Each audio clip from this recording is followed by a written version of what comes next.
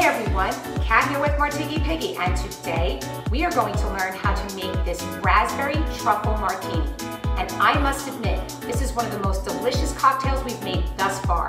It includes whipped vodka, raspberry liqueur, Kahlua, creme de cacao dark, and a hint of half and half. And it tastes exactly like a raspberry truffle chocolate treat. So check out this how-to video and here we go. It's time to get jiggy with the piggy.